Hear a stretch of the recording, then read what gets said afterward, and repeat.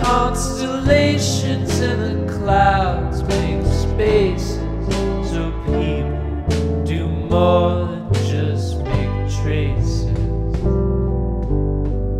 There ain't nothing wrong with giving in.